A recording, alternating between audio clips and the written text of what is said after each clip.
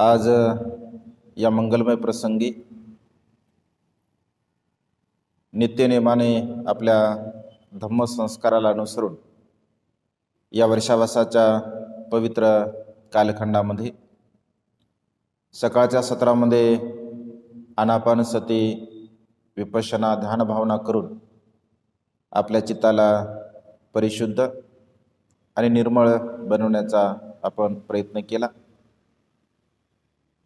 भगवंताचा सद्धम्म आपल्या सर्व प्रकारच्या दुःखाला नष्ट करण्यासाठी सहाय्यक ठरणारा असतो. आजच्या या मंगलमय प्रसंगी आपणा सर्वांच्या हितासाठी आपणा सर्वांच्या सुखासाठी कल्याणासाठी तथागतांचा पवित्र असा मंगलकारी एक उपदेश देण्याचा प्रयत्न करतो. सुरुवातीला जी गाथा मी म्हटली त्या गाथेचा सार असा होतो की ज्याप्रमाणे पाण्याचा पाठ वाहणारा जो शेतकरी आहे त्या पाण्याला ज्या पद्धतीने ज्या मार्गाने आपल्याला न्यायचा आहे त्या मार्गाने तो शेतकरी पाटाच्या द्वारा त्या पाण्याला नेऊ शकतो. ज्याप्रमाणे एखादा बाण सरळ करणारा व्यक्ती त्याच्याकडे कोणत्याही प्रकारचं लोखंड जर दिलं असेल तर आपल्या कौशल्याने त्या लोखंडाला तो सरळ करतो म्हणजे बाणाला सरळ दिशेने तो बनू शकतो योग्य प्रकारचा बाण तयार करतो. ज्याप्रमाणे एखादा कुशल सुतार असतो कारागीर असतो त्याच्याकडे तुम्ही कोणत्याही प्रकारचं लाकूड द्या. त्याला जर त्या लाकडाला जसा पाहिजे तसा आकार द्यायचा असेल तर तो आकार देऊ शकतो. अगदी तशाच प्रकारे पंडित मनुष्य ज्ञानी मनुष्य प्रज्ञावान मनुष्य आपल्या मनाला ज्या दिशेने त्याला घेऊन जायचं असेल आपल्या मनाला ज्या मार्गाकडे त्याला घेऊन जायचं असेल तर त्या मार्गाकडे पंडित मनुष्य ज्ञानी मनुष्य प्रज्ञावर मनुष्य घेऊन जाऊ शकतो. कारण आपल्या जीवनामध्ये कशा प्रकारचं जीवन जगावं हे आपल्या मानसिकतेवरती अवलंबून असतं. आपल्या मनाची मानसिकता जशा प्रकारची असेल तशा प्रकारे आपण जीवन जगतो. हा उपदेश भगवंताने श्रावस्तीमध्ये पंडित श्रामणेर यांना दिलेला होता. या उपदेशाचा जो सार आहे तर सम्यक समबुद्धांच्या काळामध्ये सम्यक समबुद्धांच्या जीवनामध्ये घडलेली ही घटना आहे. भगवंत वीस हजार भिक्कूंच्या समवेत नगरामध्ये प्रवेश करत असतात. सम्यक समबुद्ध आणि नगरामध्ये प्रवेश केल्यानंतर असंख्य उपासक उपासिका भगवंताचा मनोभावे सन्मान करतात. आणि सर्व नगर मिळून वीस हजार भिक्कूंना भोजनदान महादान देत असते. या महादानाचं अनुमोदन करत असताना भगवंत त्या लोकांना उपदेश करत असतात. उपदेश करत असताना भगवंत दानाचं महत्त्व हे नित्यनियमाने सांगत असत. सुरुवातीला भगवंत दानकथा सांगत असत. त्यानंतर सील कथा सांगत असत. स्वर्गकथा नर्ककथा सांगत असत. कामवासनेचे दुष्परिणाम भगवंत सांगत असत. आपण दान पुण्य केल्यानंतर आपल्याला काय लाभ होतो? आपल्याला काय फायदा होतो? या संदर्भामध्ये भगवंत उपदेश करत असत. आणि याही प्रसंगी दान उत्सवाला अनुसरून भगवंत दानावरती देशना देत असतात. दानावरती देशना देत असताना म्हणजे दान कर्म करणाऱ्याचे प्रकार भगवंत सांगत असतात. कारण भगवंत असे म्हणतात दान समान युद्ध. म्हणजे ज्याप्रमाणे युद्ध करण्यासाठी मनुष्याला जेवढी तयारी करावी लागते. अगदी तशाच प्रकारे दान पुण्य कर्म करण्यासाठी सुद्धा मनाची तयारी करावी लागत असते. उपदेश करत असताना भगवंत असे म्हणतात की या संसारामध्ये चार प्रकारचे सदग्रस्त दानदाते आपल्याला पाहायला मिळत असतात. कारण आपापल्या क्षमतेनुसार अनेक लोक दान पुण्य आपल्या जीवनामध्ये करत असतात. आपापल्या क्षमतेनुसार अनेक लोक शिलाचं पालन करत असतात. आपल्या मानसिकतेला अनुसरून अनेक लोक आपल्या चित्ताला परिशुद्ध करण्यासाठी समाधी भावनेचा अभ्यास करत असतात. सर्वच लोक दान शील आणि प्रज्ञा या धर्माचं अनुसरण करत नाही किंवा आचरण करत नाहीत. मग असं का होतं? तर भगवंत असे म्हणतात की ज्यांचं त्यांचं कर्म असतं आणि कर्मबलाला अनुसरून मनुष्य या संसारामध्ये अशा प्रकारचं जीवन जगत असतो. सर्वांनाच ह्या गोष्टी प्राप्त होत नाहीत किंवा सर्वच मनुष्य अशा प्रकारचं कर्म करत सुद्धा नाही भगवंताच्या काळामध्ये सुद्धा सर्व लोक सारखे नसते. आज वर्तमान काळामध्ये जरी आपण जीवन जगलं तरी सर्व लोक सारखे नाही आहेत. आणि भविष्यामध्ये सुद्धा सर्व लोक सारखे राहणार नाही आहे. कारण प्रत्येकाची मानसिकता प्रत्येकाचं मानसिक चित्त आणि प्रत्येकाचं कर्म हे त्यावरती अवलंबून आहे. कर्माला अनुसरून मनुष्य या संसारामध्ये जीवन जगत असतो. भगवंत देशना करताना म्हणतात की काही काही मनुष्य आपल्या जीवनामध्ये दान पुण्य करतात. सर्व प्रकारचं ते दान करतात. परंतु दान पुण्य स्वतः करतात. त्या दान पुण्यामध्ये इतरांना ते सहभागी करून घेत नाही मग आपल्या परिवाराला सुद्धा सहभागी करून घेत नाहीत आणि आपल्या आपतिष्टांना सुद्धा सहभागी करून घेत नाहीत. आपण दान पुण्य करावं म्हणून ते स्वतः दान पुण्य करत असतात. हा एक प्रकार आहे. दुसऱ्या प्रकारामध्ये भगवंत असे म्हणतात की काही काही लोक दान पुण्य करत नाहीत. स्वतः काहीही दान करत नाहीत. परंतु इतरांना मात्र दान कर्म करण्याची ते प्रेरणा देतात. दानकर्म केलं पाहिजे. दान केल्यानं लाभ होतो कुशल कर्म होते पुण्यकर्म होतं अशा प्रकारची इतरांना मात्र ते प्रेरणा देत असतात. स्वतः मात्र दान पुण्य करत नाही.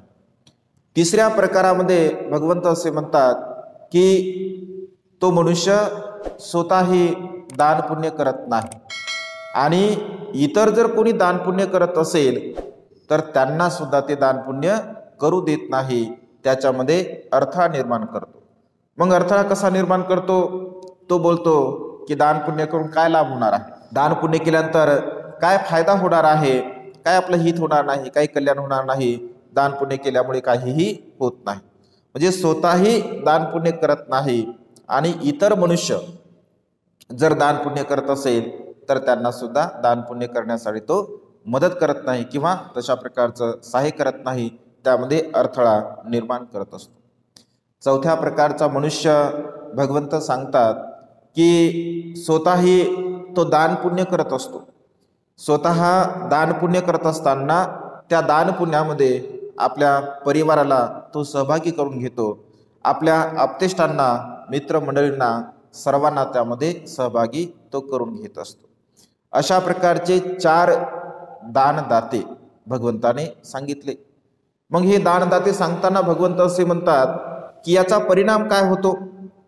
याचा विपाक काय होतो? कारण जसं कर्म असेल तशा प्रकारचा परिणाम आहे तशा प्रकारचा विपाक आहे. मग भगवंत असे म्हणतात जो पहिला प्रकार आहे जो की केवळ स्वतः दान पुण्य करत असतो इतरांना दान पुण्यामध्ये सहभागी करून घेत नाही. भगवंत असे म्हणतात की यदा कदाचित तो मनुष्यभूमीमध्ये जर जन्मास आला तर तो सर्व प्रकारच्या सद्गुणाने परिपूर्ण होतो. तो त्याच्या दानपुण्यामुळे सौंदर्यवान होतो त्याच्या दानपुण्यामुळे तो धनवान होतो त्याच्या दानपुण्यामुळे तो प्रज्ञावान होतो. परंतु त्याच्या सहवासामध्ये येणारे जे लोक आहे त्याच्या परिवारामध्ये असणारे जे लोक आहे तर ते लोक मात्र ना सौंदर्यवान असतात ना धनवान असतात ना गुणवान असतात. व्यवहारामध्ये आपण थोडंसं जर चिंतन केलं तर हा प्रकार आपल्याला पाहायला मिळतो. जसं एखाद्या परिवारामध्ये म्हणजे एखाद्या मात्या पित्यांना तीन चार मुलं असतील. ऐक तीन चार मुलं असताना आपण बघतो की सर्वच सौंदर्यवान नसतात. ऐक ना सर्व समान सौंदर्यवान नसतात. सर्व समान धनवान सुद्धा नसतात. सर्व समान बुद्धिवान सुद्धा नसतात. म्हणजे एकाच मातेपित्यांच्या पोटी त्यांचा जन्म जरी झाला असेल तरी सुद्धा मात्र ते सारखे नसतात. ऐक ना सारखे स्वभावाने सुद्धा नसतात सारखे आचराने सुद्धा नसतात सारखे सौंदर्याने सुद्धा नसतात आणि सारखे धनवान सुद्धा नसतात. भगवंत असे म्हणतात की त्यांच्या त्या कर्माचा परिणाम असतो विपाक असतो माता पिता जरी एकच असतील परंतु त्यांनी केलेले जे कर्म असतं त्या कर्मरूपाने त्यांना तशा प्रकारचं फळ प्राप्त होत असते. आणि जो काही दान पुण्य करतो तो इतरांना मात्र न सांगत असल्यामुळे त्याच्या सहवासामध्ये असणारी लोक अशा प्रकारच्या अवस्थेने जीवन जगत असतात. दुसऱ्या प्रकारामध्ये भगवंत असे म्हणतात की जो स्वतः तर करत नाही परंतु इतरांना मात्र तो प्रेरणा देत असतो. यदा कदाचित तो मनुष्य जर मनुष्यभूमीमध्ये जन्मास आला तर तो स्वतः मात्र ना सौंदर्यवान असतो स्वतः ना धनवान असतो स्वतः ना प्रज्ञावान असतो. परंतु त्याच्या सहवासामध्ये असणारे लोक अत्यंत सौंदर्यवान असतात अत्यंत धनवान असतात अत्यंत प्रज्ञावान असतात. कारण त्यांनी याच्या सांगण्यामुळे दान पुण्य केलेलं असते. याच्या सांगण्यामुळे त्यांनी शिलाचं पालन केलं असतं. आणि याच्या सहवासामध्ये असणारे लोक सर्व चांगले असतात. परंतु हा मात्र या सर्व प्रकारच्या सुखापासून विभक्त असतो विमुक्त असतो. तिसरा प्रकार सांगताना भगवंत असे म्हणतात की जो स्वतःही करत नाही आणि इतरांना सुद्धा तो प्रेरणा देत नाही. किंवा इतर जर करत असतील तर त्यांना ते करू सुद्धा देत नाही.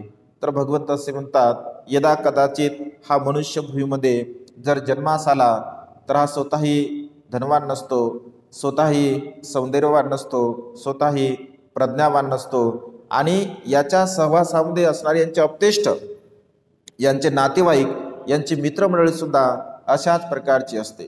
व्यवहारामध्ये आपण बघतो सर्वच्या सर्व परिवार तशा प्रकारचं दुःखपूर्ण जीवन जगत असतो. ठीक असे अनेक उदाहरण बौद्ध साहित्यामध्ये आपल्याला पाहायला मिळतात किंवा वर्तमान काळामध्ये सुद्धा आपण जर चिंतन मनन केलं तर आपल्या व्यवहारामध्ये भोवताल परिसरामध्ये सुद्धा असे लोक आपल्याला पाहायला मिळतात. आणि मग अनेक लोक म्हणतात की अठरा विश्व यांच्याकडे म्हणजे दारिद्र्य असतं किंवा अशा प्रकारचे दुःखपूर्ण ते जीवन जगत असतात. चौथ्या प्रकारामध्ये भगवंत असे म्हणतात जो स्वतःही दान पुण्य करतो आणि इतरांना सुद्धा प्रेरणा देत असतो तर यदा कदाचित तो मनुष्यभूमीमध्ये जन्मास आला तर तो स्वतः धनवान असतो स्वतः शीलवान असतो स्वतः प्रज्ञावान असतो. आणि त्याच्या सहवासामध्ये असणारे जे लोक असतात तर ते सुद्धा सर्व प्रकारच्या गुणाने परिपूर्ण असतात. सर्व गुणाने युक्त असतात. माता विशाखेचा परिवार या सर्व प्रकारच्या गुणाने परिपूर्ण होता.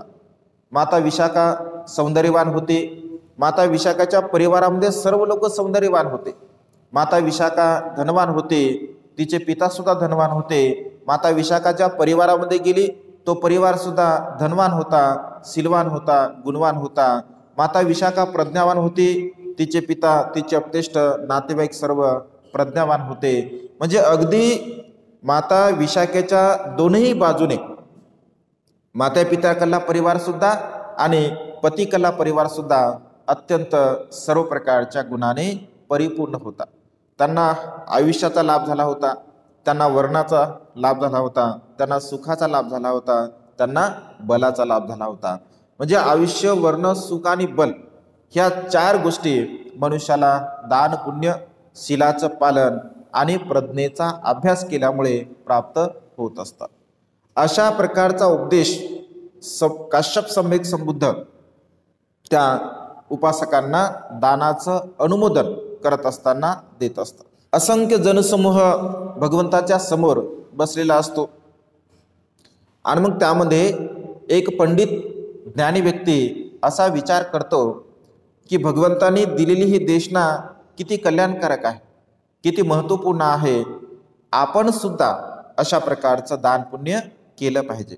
आणि भगवंताकडे तो जातो आणि भगवंताला म्हणतो की भगवान संपूर्ण भिक्खू संघासह उद्याच्या भोजनाचं आपण निमंत्रण स्वीकारावे. भगवंत असे म्हणतात की किती भिक्षूंचं भोजन आपण स्वीकारणार आहात? कारण भगवंतासमोर असंख्य भिक्खू असायचे. आणि ज्या लोकांची क्षमता अस होती त्याप्रमाणे ते भिक्षूंना भोजनदान देत असत. म्हणजे भगवंतासोबत सर्वच भिक्षू आहे किंवा सर्वच भिक्षूंना भोजन एकाच घरी दिलं जात होतं असं नव्हतं. तर कोणी पाच भिक्षू दहा भिक्षू पन्नास भिक्षू शंभर भिक्षू पाचशे भिक्षू अशा प्रकारे घेऊन जात असत. सम्यक संबुद्धांच्या सोबत वीस हजार भिक्षू होते. आणि मग तो सदग्रस्त म्हणतो की भगवान आपल्यासोबत जेवढे काही भिक्षू आहे त्या संपूर्ण भिक्खू संघासह मी आपणास उद्याच्या भोजनाचं निमंत्रण देत आहे. भगवंत मुख संमतीने उद्याच्या भोजनाचं निमंत्रण स्वीकारतात. आणि मग हा आपल्या नगरामध्ये जातो. नगरामध्ये गेल्यानंतर प्रत्येकाच्या तो घरी जातो.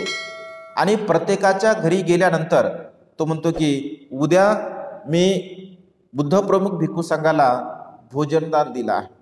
आपण आपल्या क्षमतेनुसार भिक्खू भोजनासाठी निमंत्रित करू शकता. लोकांकडे गेल्यानंतर लोकांना असं वाटतं की आपण भिक्षूंना भोजनदान दिलं पाहिजे. मग कोणी पाच भिक्षू भोजनासाठी घेतात कोणी दहा भिक्षू कोणी वीस भिक्षू कोणी पन्नास भिक्षू कोणी शंभर भिक्षू कोणी पाचशे भिक्खू कोणी हजार भिक्खू. म्हणजे अशा प्रकारे संपूर्ण त्या नगरामध्ये त्या भिक्षूंचं तो डिव्हायडेशन करतो. आपल्या स्वतःसाठी सुद्धा त्या ठिकाणी काही भिक्षू तो घेत असतो. आणि प्रत्येकाच्या घरी असं एकही घर तो सोडत नाही. की बा हे गरीब गरिबाचं घर आहे हे मध्यमवर्गीयाचं घर आहे हे श्रीमंताचं घर आहे अशा प्रकारे बिलकुल नाही. म्हणजे प्रत्येक घरी तो जातो आणि त्यांना सांगतो की तुमची इच्छा असेल तर उद्याचं भोजन तुम्ही भिक्षूंचं घेऊ शकता. मी एवढ्या एवढ्या भिक्षूंना निमंत्रण दिलेलं आहे. आणि शेवटी गावाच्या म्हणजे बाजूला शेवटच्या साईडला एक अकिंचन म्हणजे अत्यंत गरीब व्यक्तींचं घर असते. आणि मग तो विचार करतो आपण तर सर्वांकडे गेलो यांच्याकडे सुद्धा आपण गेलं पाहिजे. कदाचित यांची इच्छा यांचं पुण्य असू शकते. आपण यांना विचारलं पाहिजे आणि मग त्यांच्याकडे तो जातो आणि त्यांना म्हणतो की भाऊ अकिंचन उद्या बुद्ध प्रमुख भिक्खू संघाला भोजनाचं निमंत्रण मी दिलेलं आहे. जर तुझी इच्छा असेल तर तू भिक्षूंना भोजनदान देऊ शकतो. आणि मग तो म्हणतो की मी तर अकिंचन आहे. मी तर अत्यंत गरीब आहे. मी आज दिवसभर जर कार्य केलं तर संध्याकाळी भोजन ग्रहण करू शकतो. माझ्याकडे कोणत्याही प्रकारचं अन्न नाही आहे मी भिक्षूंना कसं भोजनदान देऊ शकतो? हा सदग्रस्त त्यांना म्हणतो की तू जे जीवन जगत आहे म्हणजे जे दुःखपूर्ण जीवन जगत आहे याचा परिणाम तू जाणतो का? याचा परिणाम का आहे हे तुला माहीत आहे का? म्हणजे या नगरामध्ये तू लोक बघ. या नगरातल्या लोकांचं जर चिंतन मनन केलं तर अनेक लोक धनवान आहे अनेक लोकांकडे विपुल धनसंपदा आहे. अनेक लोक सौंदर्यवान आहे अनेक लोक मध्यमवर्गीय आहे. मग या एवढ्या नगरामध्ये तूच अशा प्रकारचं का जीवन जगत आहे? याचं तू कधी चिंतन म्हणून केलं का? तू कोणत्याही प्रकारचं दान पुण्य न केल्यामुळे कोणत्याही प्रकारचं कुशल कर्म न केल्यामुळे अशा प्रकारच्या या दुःख स्थितीमध्ये तू जीवन जगत आहे. मग तुला असं वाटतं का की अधिक तुझं दुःखपूर्ण जीवन जगावं? तुला असं वाटत नाही का की आपण सुखपूर्वक जीवन जगलं पाहिजे. आपल्याही जीवनामध्ये सर्व प्रकारचं सुख आपल्याला प्राप्त झालं पाहिजे. अशा प्रकारे तो जो सदग्रस्त पंडित व्यक्ती असतो भगवंताने ज्या पद्धतीने चार प्रकारचे दानदाते सांगितले ते चारही प्रकारचे दानदाते या अकिंचनला तो समजावून सांगतो. आणि मग त्याने सांगितल्यानंतर त्याला ते पटतं. त्याला वाटतं की अरे बरोबर आहे. मी जे अशा प्रकारचं जीवन जगत आहे कदाचित मी कोणत्याही प्रकारचं दान पुण्य न केल्यामुळे अशा प्रकारचं जीवन जगत आहे. आपल्याला आता संधी आहे आपल्याला पुण्यकर्म करायची संधी आहे मग आपण आपल्या क्षमतेप्रमाणे भिक्षूंना भोजनदान दिलं पाहिजे. तेव्हा तो म्हणतो की माझ्याकडून माझ्या परिवाराकडून एका भिक्षूंना मी भोजनदान देऊ शकतो. आणि मग त्याच्यासोबत जो सदग्रस्त असतो तो नावं लिहित असतो. कोणी किती भिक्षू घेतले? मग त्याला असं वाटतं एक तर भिक्षू घेतला की काय नाव लिहायचं? आणि तो नाव काही लिहित नाही. हा सदग्रस्त जो अकिंचन असतो तो विचार करतो आणि आपल्या पत्नीकडे जातो. पत्नीला म्हणतो की भार्या उद्या आपल्याकडे एक भिक्षू. कारण संपूर्ण नगराने भिक्खू संघाला भोजनदानाचं निमंत्रण दिलं आहे. एक सदग्रस्त संपूर्ण भिक्खू संघाला भोजनाचं त्याने नियोजन केलं आपण सुद्धा एका भिक्षूंचं भोजन स्वीकारलं आहे. असं म्हटल्याबरोबर त्याची जी पत्नी असते तर ती असं म्हणत नाही की तुम्ही कशाला भोजन स्वीकारलं? इथे आपल्यालाच म्हणजे खाण्यासाठी नाही आहे. आपण दिवसभर कार्य केलं तर आपल्याला म्हणजे भोजन मिळतं असं ती बिलकुल म्हणत नाही. पतीने एका भिक्षूंना भोजनाचं निमंत्रण मी स्वीकारलं असं म्हटल्याबरोबर ते अत्यंत प्रसन्न होते अत्यंत प्रमुदित होते अत्यंत आनंदी होते आणि ती म्हणते की आर्य आपण जे केलं ते अगदी योग्य केलं. अतिशय चांगलं केलं. आपण सुद्धा दान पुण्य केलं पाहिजे. आपण परिश्रम करू आपण मेहनत करू आणि उद्याचं भोजन भंतेंना आपण देऊ. असं दोघही पतीपत्नी अत्यंत प्रसन्न चित्ताने या भोजनाचा स्वीकार करतात. आणि मग आता भोजन तर द्यायचं आहे. मग आपण कार्य केलं पाहिजे आणि मग तो गावामध्ये फिरतो की काही कार्य आहे का? अनेक लोकांनी भोजनाचं निमंत्रण स्वीकारलं होतं. हा जेव्हा गावामध्ये एंट्री करतो तर लगेच एक सेट एक श्रेष्ठी त्यांना म्हणतो की अरे अकिंचन काही कार्य तू करू शकतो का? काही काम तू करू शकतो का? तर तो होतो हो स्वामी मी तर कामाच्या शोधामध्येच आहे. आणि मग त्यांना सांगतात की पलीकडे बघ आमच्याकडे पाचशे भिकू भोजनासाठी येणार आहे. आणि त्यांना भोजन बनवण्यासाठी लाकडांची व्यवस्था लागणार आहे. तर पलीकडे तू लाकडं फोडून दे चांगल्या प्रकारे जेणेकरून चांगल्या प्रकारचा स्वयंपाक बनवता येईल. आणि तो लाकडे फोडत असतो. लाकडे फोडत असताना तो अत्यंत प्रसन्न चित्ताने म्हणजे आनंदी चित्ताने तो कार्य करत असतो. मग तो व्यक्ती तो श्रेष्ठी जो असतो तो म्हणतो की अरे अकिंचन आज तू फारच प्रसन्नतेनं कार्य करत आहे. आज तू खूपच आनंदाने कार्य करत आहे. याच्या पूर्वी सुद्धा मी तुला काम सांगितलं. परंतु एवढ्या प्रसन्नतेने तू ते काम केलं नाही. आज अशी काय घटना घडली की एवढ्या प्रसन्नतेने तू कार्य करत आहे? तेव्हा तो म्हणतो की स्वामी उद्या आमच्याकडे एक भंतेजी भोजनासाठी येणार आहे. त्यामुळे मी खूप प्रसन्न आहे. मी खूप आनंदी आहे. तेव्हा तो श्रेष्ठी म्हणतो की अरे तू सुद्धा भोजन देऊ शकतो? म्हणजे तू सुद्धा भोजन देणार आहे का? तो म्हणतो हो. तो म्हणतो की किती दुर्धर कार्य आहे. किती कठीण कार्य आहे. कारण तुझ्यासारख्या व्यक्तींना दुसऱ्याला भोजन देणे ही अत्यंत कठीण गोष्ट आहे.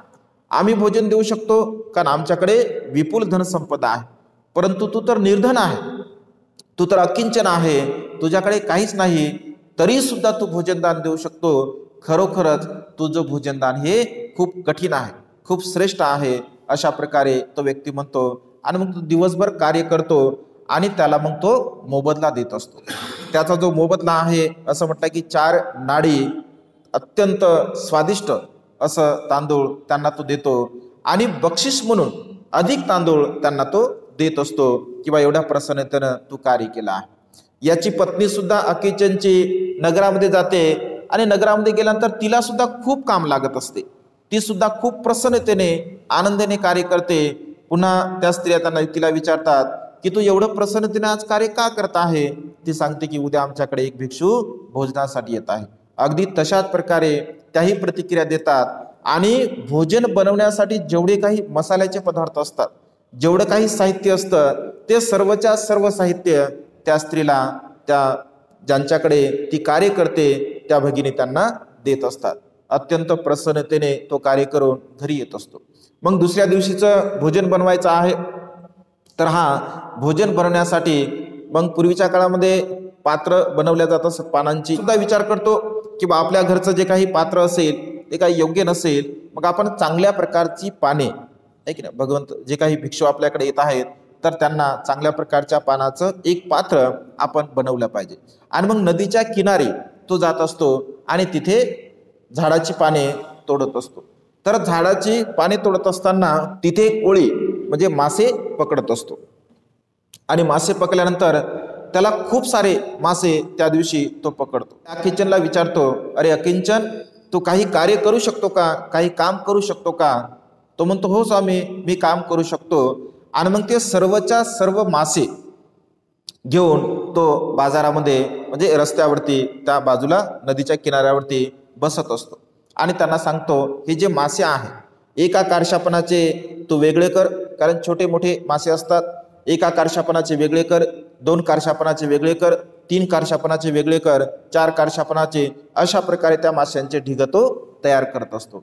आणि मग येणारे जाणारे जे लोक असतात तर ती मासी विकत घेत असतात. आणि हा जो कोळी असतो त्याला विचारतो की मासे काही शिल्लक आहे का? तो संपूर्ण मासे त्या ठिकाणी विकल्या जात असतात. आणि तो म्हणतो की स्वामी आता कोणत्या प्रकारचे मासे म्हणजे शिल्लक नाही आहे. तेव्हा चार अत्यंत चांगल्या प्रकारची रोहित मत्स्य असं म्हटलं आहे त्याला. रोहित जातीचे मासे जे की पूर्वीच्या काळामध्ये म्हणजे अत्यंत स्वादिष्ट आणि अत्यंत चांगल्या प्रकारचा तो मासा होता असं म्हटलं आहे. आणि मग ते रोहित मत्स्य त्या अकिंचनला तो देतो. हे मासे माझ्याकडून तुला बक्षीस म्हणून घेऊन जा आणि काही मोबदला सुद्धा त्याला तो देत असतो. दुसऱ्या दिवशी मग आपल्या पत्नीला हे सर्व साहित्य तो देत असतो. आणि मग भोजन बनवायचं आहे तर हे दोघेही दिवसभर कार्य करून खूप थकत असतात असं म्हटलं आहे. साहित्यामध्ये असा उल्लेख आहे याने जे दुर्धर असं कर्म केलं आहे तर या दुर्धर कर्माला जे प्रसन्न होणं असं म्हटलं आहे साहित्यामध्ये असा उल्लेख आहे इंद्रदेव एक त्याचं ही जे कर्म बघतो त्याचं कार्य बघतो आणि कार्य बघून तो अत्यंत प्रसन्न होतो आणि आपण याला काहीतरी मदत करावी. या दृष्टिकोनातून एक अत्यंत म्हणजे गरीब व्यक्तींचं रूप धारण करतो असं म्हटलं आहे. आणि मग या अक्कीचेच्या दारासमोर तो जातो. आणि काही कार्य शिल्लक आहे का? काही काम शिल्लक आहे का? असं त्यांना विचारतो. हे दोघेही पती पत्नी दिवसभर कार्य करून खूप थकलेले असतात. आणि ते विचार करतात की आज आपल्याला मोबदला सुद्धा भरपूर मिळालेला आहे. आपल्याला अन्नधान्य सुद्धा भरपूर मिळालं आहे. तर उद्याच्या कार्यासाठी या व्यक्तीला आपण म्हणजे ठेवलं पाहिजे. आणि असा विचार करत असताना त्यांना ते विचारतात की तू काय करू शकतो? तो म्हणतो की मी अत्यंत स्वादिष्ट असं भोजन बनवू शकतो. मला अत्यंत स्वादिष्ट असं भोजन बनवता येते. आणि ते म्हणतात की ठीक आहे उद्या आमच्याकडे एक भिक्षू भोजनासाठी येत आहे तर त्यांच्यासाठी तू भोजन बनव. भोजन बनवतो अत्यंत स्वादिष्ट असं भोजन बनवतो असं म्हटलं आहे. आणि मग दुसऱ्या दिवशी हा किंचन ज्यांनी भोजनाचं निमंत्रण संपूर्ण भिक्खू संघाला दिलेलं असतं त्याच्याकडे जातो आणि त्यांना म्हणतो की माझा एक भिक्षू मला द्या. आता याने जो नाव लिहिणारा असतो ताडपत्रीवरती त्याने याचं नाव काही लिहिलेलंच नसतं. आणि संपूर्ण लोकांनी भिक्षू घेतलेले असतात. अगदी वीसही हजार भिक्षू विहारामधून प्रत्येकाच्या घरी भोजनासाठी निघून जात असतात. आणि याला तो म्हणतो माझा भिक्षू मला भोजनासाठी द्या. तो म्हणतो की अरे जेव्हा नावाची लिस्ट पाहतो तर त्याच्यामध्ये त्याचं नावच नसतं. आणि तो म्हणतो की अरे तुझं नाव मी लिहिलंच नाही आहे. असं म्हटल्याबरोबर असं म्हटलं आहे की ज्याप्रमाणे तीक्ष्ण बाण हृदयामध्ये लागावा आणि हृदयामध्ये लागल्यानंतर ज्याप्रमाणे वेदना व्हाव्या त्याप्रमाणे त्याला असंख्य अशा वेदना होतात. त्याला खूप दुःख होते आणि तो म्हणतो की स्वामी माझा नाश तुम्ही करू नका. मला दुःख तुम्ही देऊ नका. मला एक भिक्षू तुम्ही भोजनासाठी द्या. मी अत्यंत परिश्रमाने अत्यंत मेहनतीने एका भिक्षूंचं भोजन तयार केलं आहे. माझी इच्छा पण नव्हती भोजन देण्याची. तुम्ही मला समजून सांगलं की दान पुण्य कसं आहे? दान पुण्य केलं पाहिजे आणि तुम्ही आता म्हणता की मला भिक्षू नाही आहे माझा नाश करू नका मला काहीही करा आणि मला एक भिक्षू द्या. तो व्यक्ती म्हणजे अत्यंत त्याला चिंता वाटते कारण आता भिक्षू नसतात आणि तो म्हणतो की मी लोकनिंदेस पात्र होणार आहे. कारण अनेक लोक तिथं विहाराच्या बाजूला बसलेले असतात. श्रेष्ठी लोक बसलेले असतात. श्रीमंत लोक बसलेले असतात. राजे लोक बसलेले असतात. आणि ह्या अशा प्रकारचं बोलत असताना सर्व लोक एकत्र येतात. आणि ते म्हणतात की काय झालं? मग तो सर्व हकीकत सांगतो माझी इच्छा नसताना यांनी मला प्रेरित केलं मला प्रेरणा दिली आणि आता म्हणतात की भिक्षू नाही आहे. तर मला भिक्षू पाहिजे. अशा प्रकारे तो आक्रोश करतो रडतो. त्या मनुष्याला लगेच आठवतं अरे जगाचे कल्याण करते सम्यक संबुद्ध आतापर्यंत कुठेही भोजनासाठी गेले नाही आहे आणि त्याला लगेच सांगतो की तू जा भगवंताच्या निवासाच्या समोर कुटीच्या समोर तू पात्र घेऊन बस. कदाचित भगवंत जेव्हा कुटीच्या बाहेर येतील तर भगवंताचं पात्र तू घे. त्याला आनंद होतो त्याला हर्ष होतो आणि तो लगेच त्या बीडमधून भगवंताच्या कुटीकडे निवासाकडे जाण्यासाठी म्हणजे जात असतो. तर लोक जे श्रेष्ठी असतात जे राजे लोक असतात जे श्रीमंत लोक असतात तर ते म्हणतात की अरे थांब. आता सध्या जिथे भोजनाचं काही नियोजन केल्या जात नाही आहे. भगवंत आणखी भोजनासाठी गेले नाही आहे. भगवंताचं भोजन झाल्यानंतर तुला भोजन मिळेल. म्हणजे लोकांना असं वाटतं की हा स्वतः भोजन ग्रहण करण्यासाठी या ठिकाणी आला असेल. तेव्हा तो म्हणतो की स्वामी मी स्वतः भोजन ग्रहण करण्यासाठी आलो नसून मी भगवंताचं दर्शन घेण्यासाठी आलो आहे. मला भगवंताचं दर्शन घ्यायचं आहे. आणि असं म्हटल्याबरोबर ते लोक त्याला जाऊ देतात. अगदी भगवंताच्या द्वाराच्या जवळ तो बसत असतो. तो म्हणतो की भगवान म्हणजे चित्तामध्ये अशी भावना उत्पन्न करतो की भगवान मी अत्यंत प्रसन्नतेने अत्यंत श्रद्धेने भगवान भोजन ग्रहण केला आहे. भगवान माझं दान पुण्य आपण स्वीकार करावा. भगवान माझ्यावरती अनुग्रह करावा अनुकंपा करावी. मला भोजनाचं निमंत्रण आपण स्वीकारावे. अशा प्रकारे आपल्या हृदयामध्ये तो भाव प्रकट करतो. भगवंत द्वार खोलतात आपल्या कुटीचं द्वार खोलल्याबरोबर तो समोर हात करतो. भगवंत पात्र त्याच्या हातामध्ये देत असतात.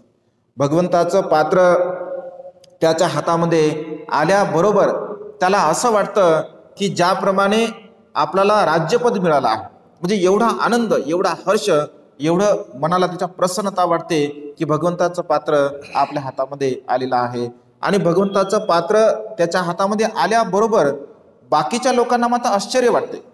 कारण तिथे राजा बसलेला असतो तिथे श्रेष्ठी बसलेला असतो तिथे प्रधान बसलेला असतो. कारण प्रत्येकाला असं वाटतं की अद्याप भगवंत भोजनासाठी गेले नाही. भगवंत कुटीच्या बाहेर आल्याबरोबर आपण भगवंताचं पात्र घ्यावं आणि आपल्या घरी भोजनासाठी न्यावं असं लोकांना वाटतं. परंतु भगवंताने पात्र अकिंचनच्या हातामध्ये दिलेलं असते.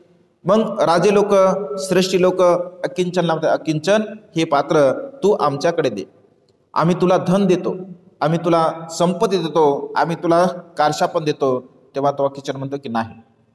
हे पात्र मी कोणाला सुद्धा देणार नाही. आज भगवंताला मी भोजनदान देणार आहे. जबरदस्ती तर ते घेऊ शकत नव्हते. कारण जबरदस्त कुठल्याही प्रकारचं पुण्यकर्म कुशलकर्म होऊ शकत नाही. आणि मग ते विचार करतात की हा काय भोजन देऊ शकणार आहे भगवंताला? हा तर अत्यंत अकिचन आहे अत्यंत गरीब आहे. आणि मग याच्या पाठीमागे आपण जावं. जर याने भगवंताचं म्हणजे भगवंताला चांगलं भोजन जर दिलं नाही तर भगवंताचं पात्र घेऊन आपण आपल्या घरी जावं आणि भगवंताला भोजनदान द्यावं. आणि तो समोर जातो भगवंत त्याच्या पाठीपाठी जात असतात. असं म्हटलं आहे साहित्यामध्ये असा उल्लेख आहे की भगवंत त्यांच्या घरी जातात. जेव्हा भोजन दिलं जातं तर ते भोजन जे इंद्राने बनवलेलं असतं असं म्हटलं आहे त्या भोजनाचा जो काही सुगंध आहे असा साहित्यामध्ये उल्लेख आहे त्या भोजनावरील पातेलं काढल्याबरोबर त्या भोजनाचा एवढा स्वादिष्ट अत्यंत सुमधूर असा सुगंध त्या ठिकाणी म्हणजे प्राप्त होत असतो. कारण ते भोजन अत्यंत प्रसन्नतेने अत्यंत श्रद्धेने त्या ठिकाणी इंद्राने बनवलेलं असतं. अत्यंत स्वादिष्ट जेव्हा भोजन श्रेष्ठी बघतात राजे लोक बघतात त्या ठिकाणी सर्वच लोक बघतात तर त्यांना असं वाटतं की अरे हे भोजन तर अत्यंत स्वादिष्ट आहे. हे भोजन एवढं रुचकर असेल की आपण जे बनवलेलं भोजन आहे त्या भोजनाचा स्वादसुद्धा एवढ्या चांगल्या प्रकारचा येत नाही आणि याला आपण म्हणजे आपला अडथळा याला होऊ नये म्हणून सर्वच्या सर्व लोक त्या ठिकाणी निघून जातात. तो अत्यंत श्रद्धेने भगवंताला भोजन दान देत असतो. भोज भगवंत भोजन ग्रहण करतात दानाचं अनुमोदन करतात असं म्हटलं आहे. साहित्यामध्ये असा उल्लेख आहे जेव्हा भगवंत एखाद्या अकिंचनावरती अनुग्रह करत असतात. कारण भगवंत नेहमी म्हणजे गरीब लोकांवरती अनुग्रह करत असतात. त्यांचं पुण्य व्हावं अशा प्रकारचा अनुग्रह करत असतात. आणि ज्या श्रद्धेने ज्या मेहनतीने ज्या परिश्रमाने त्याने जे दान पुण्य केलं असतं तर ते दान पुण्य एखादा राजाला सुद्धा एवढे परिश्रम दान पुण्य कर्म करण्यासाठी लागले नसतील एवढे परिश्रम त्याने ते दान पुण्य करण्यासाठी केलं असतं. आणि असं म्हटलं आहे जेव्हा अशा प्रकारचे परिश्रम करून सर्वस्वाचा त्याग करून जेव्हा दान पुण्य केलं जातं तर त्या दानाचं तात्काळ फळ मिळते असं म्हटलं आहे. ज्याला दिठ्ठ धम्म वेदनीय कम्म असं म्हटलं आहे. त्याचं तात्काळ फळ मिळत असते असं म्हटलं आहे. हा भगवंताला विहारापर्यंत सोडण्यासाठी येतो. आणि जेव्हा पाहतो तर असं म्हटलं आहे की जे काही त्याचं जे घर आहे ते संपूर्ण धनधान्याने सुवर्णाने कारशापनाने पूर्णपणे भरलं जातं. आणि असं तो आश्चर्य आश्चर्यकारक आपल्या जीवनामध्ये हे जे परिवर्तन आलं तर तो बघतो आणि राजाकडे जातो. तो म्हणतो की महाराज माझ्या घरामध्ये विपुल असं धनसंपदा म्हणजे आलेली आहे. विपुल धन माझ्या घरामध्ये आलेलं आहे. महाराज हे सर्व धन आपण घेऊन जावं. तेव्हा राजा हुशार असतो प्रज्ञावान असतो. म्हणतो की आज तू कोणतं कर्म केलं आहे? तर तो म्हणतो की महाराज आज मी जगाचे कल्याण करते सम्यक संबुद्धांना कश्यप बुद्धांना भोजनदान दिलेलं आहे. तर राजा म्हणतो की हे तू केलेल्या कर्माचा विपाक आहे. हे तू केलेल्या कर्माचा परिणाम आहे. हे धन तुझं आहे. हे धन माझं नाही आहे. तू केलेलं हे फळ आहे. पुण्याचं फळ आहे. मी तुला काय सहाय्य करू शकतो? तर तो म्हणतो की महाराज मला गाड्या धन आणण्यासाठी आपण द्यावं. आणि असं म्हटलं आहे की एक हजार गाड्या त्या ठिकाणी म्हणजे पाठवल्या जातात. एक हजार गाड्यामध्ये तिथे धन भरून आणलं जातं आणि एका नगराच्या मध्यभागामध्ये ते धन टाकलं जातं. सर्व लोकाला त्या ठिकाणी बोलवलं जाते. राजा विचारतो की नगरवासियांनो एवढं धन कुणाकडे आहे का? तेव्हा नगरवासी म्हणतात की महाराज एवढं धन कोणाकडे सुद्धा नाही आहे. मग याचा यथोचित्त सन्मान केला पाहिजे. हो लोक म्हणतात की हो महाराज याचा सन्मान केला पाहिजे. आणि राजाच्या नंतर जर श्रेष्ठ पद कोणतं असेल तर ते महाश्रेष्ठीचं श्रेष्ठीचं पद होतं.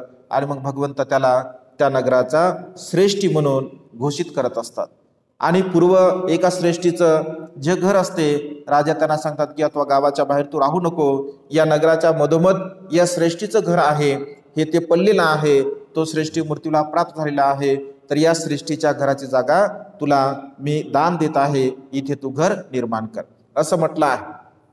घर निर्माण कार्य करत असताना जेव्हा खोदकाम करतो तर त्या खोदकामामध्ये सुद्धा असंख्य त्या श्रेष्ठीने पूर्वश्रेष्ठीने जे लपून ठेवलेले धनाचे म्हणजे गाडे असतात धन असते ते धनसुद्धा बाहेर येते. पुन्हा तो राजाला सांगतो की महाराज आपल्या भूमीमध्ये धनाचा साठा इथे प्राप्त झाला आहे. राजा म्हणतो की हे धन तुझं आहे कारण मी ही जागा तुला दान दिलेली आहे. आणि अशा प्रकारे पुन्हा त्याला त्या धनाचा लाभ होत असतो. तो विचार करतो चिंतन मनन करतो की आपल्या जीवनामध्ये एवढं मोठं परिवर्तन कशामुळे झालं? तर भगवंताला सम्यक संबुद्धाला कश्यप बुद्धांना आपण भोजनदान दिल्यामुळे हे सर्व परिवर्तन झालं. तो पुन्हा भगवंताकडे जातो भगवंताला प्रणाम करतो आणि म्हणतो की भगवान सात दिवसाचा सप्त महोत्सव माझ्याकडे आहे. आणि असं म्हटलं की सात दिवस ते दान पुण्य करतो सप्त महोत्सव करतो भिक्खू संघाला भोजनदान देतो दान पुण्य करतो शिलाचं पालन करतो. म्हणजे अशा प्रकारे त्या दान पुण्याचा त्यांना लाभ होत असतो. अशा प्रकारे भगवंत पंडित स्थवीर यांच्या कुशल कर्माचा विपाक कुशल कर्माचा परिणाम या ठिकाणी सांगत असतात. म्हणजे मानवी जीवनामध्ये भगवंत असे म्हणतात की जे श्रद्धायुक्त चित्ताने प्रसन्न चित्ताने आनंदी चित्ताने जेव्हा आपण दान पुण्य करत असतो तर त्या दान पुण्याचा विशेष लाभ आपल्या जीवनामध्ये प्राप्त होत असतो आणि प्रत्यक्ष रूपाने सम्यक समृद्धाला दान पुण्य करणे हे अत्यंत महान आणि असीम असं पुण्यकर्म असतं. ते दान कर्म करण्यासाठी किती परिश्रम किती मेहनत किती कष्ट आपल्याला करावे लागतात या उदाहरणावरून आपल्या जीवनामध्ये आपल्याला ही गोष्ट लक्षात देऊ शकते. कारण दान समान युद्ध असं भगवंतांनी म्हटलं आहे. म्हणजे युद्ध करण्यासाठी एका सैनिकाला जेवढी मनाची तयारी करावी लागते कारण युद्धामध्ये जाण्यासाठी त्याला प्राणाची त्याला अशी तयारी करावी लागते की मी मृत्यूला जरी प्राप्त झालो तरी काही हरकत नाही आहे. म्हणजे पूर्णतः तयारी करून तो युद्धामध्ये जात असतो. अगदी तशाच प्रकारे दान पुण्य कर्म करण्यासाठी सर्वस्वाचा त्याग आपल्याला करावा लागतो. कारण दानाचं पर्यायी नाव आहे त्याग. म्हणजे सर्वस्वाचा त्याग. जेव्हा जेव्हा मनुष्य आपल्या जीवनामध्ये करत असतो तर निश्चितपणे हे दान पुण्य कर्म करण्यासाठी आपल्याला आपल्या मनाला परिशुद्ध करण्यासाठी आपल्या मनाला निर्मळ करण्यासाठी आपल्या मनातील सर्व प्रकारच्या विकारांना नष्ट करण्यासाठी हे दान पुण्य आपल्याला सहाय्य ठरत असतं. आजच्या या मंगलमय प्रसंगी अधिक न बोलता आपणा सर्वांच्या प्रती मंगलमैत्रीची भावना व्यक्त करून ही छोटीशी धम्मदेशना संपन्न करतो. सर्वांचं मंगल हो सर्वांचं कल्याण हो सर्वांना दीर्घायुष्य लाभ.